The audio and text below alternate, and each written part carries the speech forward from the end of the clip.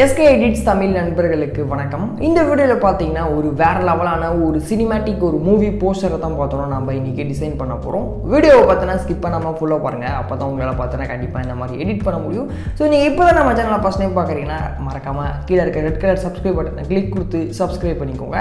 So நீங்கள் என்ன இன்ஸ்டாகிராமில் ஃபாலோ பண்ணணும் அப்படின்ட்டு இருந்தீங்கன்னா லிங்க் டிஸ்கிரிப்ஷனில் கொடுத்துருக்கேன். ஸோ இப்போ வாங்க வீடியோக்குள்ளே போயிடலாம்.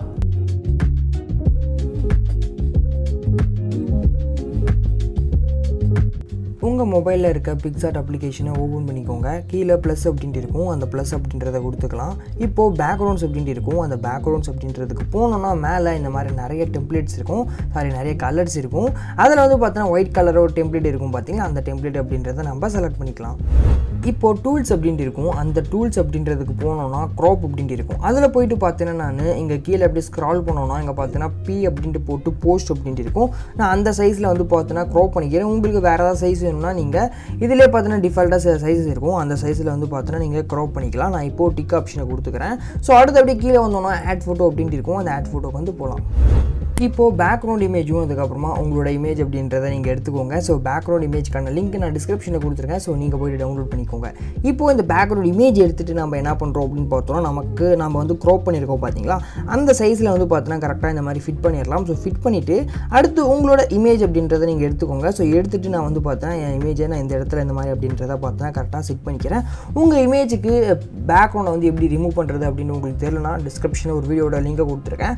ஸோ அந்த வீடியோவை பார்த்து நீங்கள் உங்கள் இமேஜில் இருக்க பேக்ரவுண்டை பார்த்தோன்னா நீங்கள் சூப்பராக அப்படின்றத ரிமூவ் பண்ணிக்கலாம். இப்போ நான் என்ன பண்ணுறேன் அப்படின்னு பார்த்தீங்கன்னா நான் இந்த பேக்ரவுண்ட் இமேஜ் இருக்குது பார்த்தீங்கன்னா அந்த பேக்ரவுண்ட் இமேஜை வந்து நான் இப்போ டூப்ளிகேட் பண்ணிக்க போகிறேன் லெஃப்ட் சைடில் டைமண்ட் செப்பரண்ட் இருக்கும் அதை கொடுத்தோன்னா டூப்ளிகேட் அப்படின்னு கொடுத்தோன்னா இந்த இமேஜ் டூப்ளிகேட் ஆகிடும் இப்போ வந்து நான் இதை என்ன பண்ணுறேன் அப்படின்னு பார்த்தீங்கன்னா மூடவுன் அப்படின்றத கொடுக்குறேன். ஸோ கொடுத்துட்டு இப்போது இதில் வந்து பார்த்தீங்கன்னா இந்த ரைட் சைடில் ஃப்ளிப் ரொட்டேட் அப்படின்ட்டு இருக்கும். அதில் தேர்ட் ஆப்ஷன் அதை கொடுத்தீங்கன்னா இந்த பக்கம் வந்து ரொட்டேட் ஆகிடும் ஸோ இப்போ எரேஸ் ஆப்ஷனுக்கு போயிட்டு ஃபுல்லாக இன்வெர்ட் அப்படின்றத கொடுத்துட்றேன். ஸோ கொடுத்துட்டு ரேஷர் அப்படின்றதுக்கு போயிட்டு ஒப்பாசிட்டியும் ஹார்ட்னஸும் கம்மியாக வச்சுட்டு ஸோ இந்த இடத்துல பார்த்தீங்கன்னா நான் இந்த மாதிரி அப்படின்றத பார்த்தீங்கன்னா வரைஞ்சிக்கிறேன். ஸோ இந்த ரோட்டில் வந்து பார்த்தோன்னா இந்த மாதிரி ஒயிட் கலர் லைன்ஸ் வந்து பார்த்தோன்னா தெரிகிற மாதிரி இந்த மாதிரி வரைஞ்சிட்டு இப்போது அட்ஜஸ்ட் அப்படின்ட்டு இருக்கும். அதில் போயிட்டு பார்த்தோன்னா பிரைட்னஸை கம்மியாக அப்படின்றத செட் பண்ணிக்கிறேன். ஸோ செட் செட் பண்ணிவிட்டு இந்த மாதிரி டிக் ஆப்ஷன் அப்படின்றத கொடுத்துட்றேன். ஸோ அடுத்து நான் என்ன பண்ணுறேன் அப்படின்னு பார்த்தீங்கன்னா என் இமேஜை லைட்டாக கொஞ்சம் சின்னதாக பார்த்தீங்கன்னா செட் பண்ணிடுறேன். செட் பண்ணிவிட்டு அடுத்து மறுபடியும் என் இமேஜை வந்து நான் டூப்ளிகேட் பண்ணிக்கிறேன். ஸோ டூப்ளிகேட் பண்ணிவிட்டு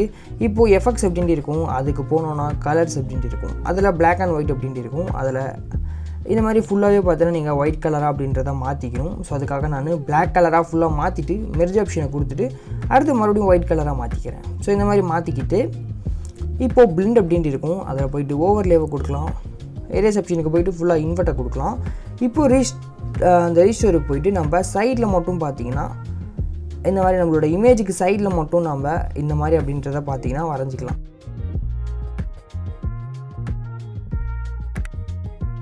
இப்போ இந்த மாதிரி நம்ம சைடில் மட்டும் வரைஞ்சிருப்போம். ஒப்பாசிட்டி வந்து பார்த்தோன்னா உங்களுக்கு வச்சு உங்களுக்கு வந்து அந்த மாதிரி எவ்வளோ பிரைட்னஸ் வந்து வேணுமோ அந்த அளவுக்கு அப்படின்றத நீங்கள் செட் பண்ணிக்கோங்க. நான் வந்து ஒரு எயிட்டி ஒன் அப்படின்றத இந்த மாதிரி நான் செட் பண்ணியிருக்கேன். இந்த மாதிரி செட் பண்ணிவிட்டு அடுத்து நான் டிக் ஆப்ஷன் அப்படின்றத கொடுத்துட்றேன். ஸோ இந்த மாதிரி டிக் ஆப்ஷனை கொடுத்துட்டு அடுத்து நான் என்ன பண்ணுறேன் அப்படின்னு பார்த்தீங்கன்னா மறுபடியும் ஆட் ஃபோட்டோக்கு வந்து போகிறேன் இப்போது மறுபடியும் நம்ம பேக்ரவுண்ட் இமேஜ் அப்படின்றத பார்த்தோன்னா எடுத்துக்கலாம். ஸோ எடுத்துகிட்டு நான் என்ன பண்ணுறேன் அப்படின்னு பார்த்தீங்கன்னா இந்த சைடில் பார்த்தோன்னா இந்த இடத்துல ஸோ பாருங்கள் ஒரு மாதிரியாக இருக்கும்.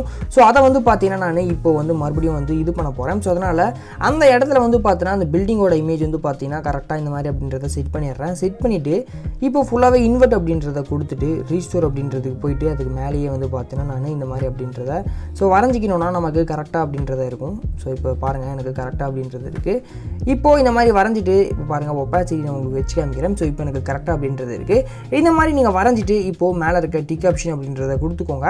ஸோ அடுத்து நம்ம என்ன பண்ணுறோம் அப்படின்னு பார்த்தோன்னா இப்போ கீழே வந்தோன்னா ட்ரோ அப்படின்ட்டு இருக்கும். அந்த ட்ரோ அப்படின்றதுக்கு போனோன்னா சாரி நான் வந்து பார்த்தோன்னா உங்களுக்கு ஒன்று சொல்லவே மறந்துட்டேன். இப்போ மறுபடியும் நான் ஆட் ஃபோட்டோக்கு வந்து போகிறேன் ஸோ போனோன்னா பேக்ரவுண்ட்ஸ் அப்படின்ட்டு இருக்கும். அதில் வந்து பார்த்தோன்னா பிளாக் கலராக இருக்குது பார்த்தீங்களா அதை வந்து நம்ம செலக்ட் பண்ணிக்கலாம். இந்த மாதிரி நீங்கள் ஒரு இமேஜை பார்த்தோன்னா எடுத்துக்கோங்க. எடுத்துக்கிட்டு இது வந்து நம்ம காலு கீழே இந்த மாதிரி அப்படின்றத செட் பண்ணிக்கோங்க. செட் பண்ணிவிட்டு எரேஸ் ஆப்ஷனுக்கு போயிட்டு ஃபுல்லாக இன்வெர்ட் அப்படின்றத கொடுத்துக்கோங்க. ஸோ கொடுத்துக்கிட்டு இது வந்து உங்களோட இமேஜ் எப்பயும் பார்த்தீங்கன்னா அந்த இமேஜ் வைக்கிறதுக்கு முன்னாடியே வந்து பார்த்தீங்கன்னா பண்ணிக்கோங்க. நான் வந்து பார்த்தீங்கன்னா மறந்துட்டேன்.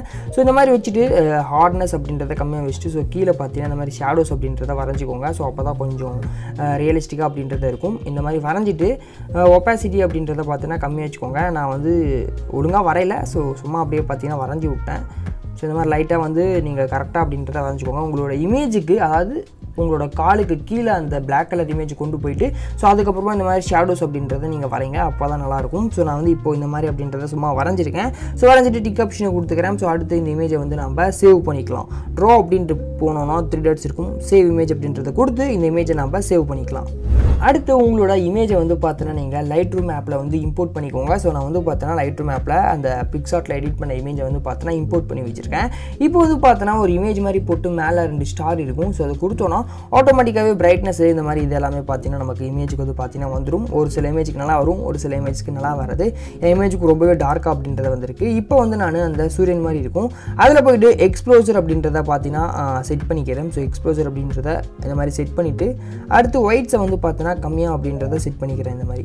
செட் பண்ணிக்கிட்டு இப்போ அடுத்து அதுக்கு கீழே வந்தோன்னா அந்த ஒய் பேலன்ஸ் ஆப்ஷன் இருக்கும். அதில் போயிட்டு பார்த்தீங்கன்னா அந்த ஒரு இது மாதிரி இருக்குது பாருங்கள் அந்த நிப்பல் மாதிரி. அதை வந்து எடுத்துகிட்டு போயிட்டு ஒயிட் கலராக இருக்குது பாருங்கள் அந்த இடத்துல இந்த மாதிரி அப்படின்றத நான் செட் பண்ணிக்கிறேன். இந்த மாதிரி ஒரு ஒரு இடத்துல வச்சோன்னா நமக்கு கலர் வந்து பார்த்தீங்கன்னா இந்த மாதிரி அப்படின்றத மாறும். ஸோ நான் வந்து என்ன பண்ணுறேன் அப்படின்னு பார்த்தீங்கன்னா இந்த இடத்துல வச்சுட்டு இந்த மாதிரி அப்படின்றத பார்த்திங்கன்னா பார்த்தீங்கன்னா கொடுத்துக்கிறேன்.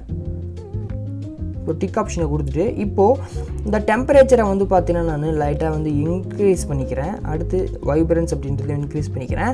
ஸோ அடுத்து மேலே பார்த்தோன்னா ரவுண்டாக ஒன்று இருக்கும். அந்த கலர் கலராக அதில் போயிட்டு செகண்ட் ஆப்ஷன் அந்த ஆரஞ்சு கலராக இருக்கும் பாருங்கள் கலரு அதில் போயிட்டு லூமினன்ஸ் அப்படின்றத கொடுத்துக்கிறேன். ஸோ அது கொடுத்தோன்னா நம்ம இமேஜோட நம்ம ஃபேஸில் வந்து பார்த்தோன்னா கலர் வந்து நல்லா கொஞ்சம் ஒயிட்டாக டார்க்காக அப்படின்றது கிடைக்கும். இந்த மாதிரி கொடுத்துக்கிட்டு டன் அப்படின்றத கொடுத்துக்கிறேன். அடுத்து மேலே த்ரீ டாட்ஸ் இருக்கும் பாருங்கள் ரவுண்ட் ரவுண்டாக அதில் போயிட்டு நான் வந்து ப்ளூ கலராக அப்படின்றத பார்த்தோன்னா இந்த மாதிரி அப்படின்றத செட் பண்ணிக்கிறேன். செட் பண்ணிக்கிட்டு பேலன்ஸ் அப்படின்றதில் ஒரு ஃபார்ட்டி சிக்ஸ் அப்படின்றத கொடுத்துக்கிட்டு டன் அப்படின்றத கொடுக்குறேன். ஸோ இப்போ வந்து பார்த்தோன்னா இப்படி இருந்த இமேஜை வந்து நான் இந்த அளவுக்கு இப்போது எடிட் பண்ணியிருக்கேன்.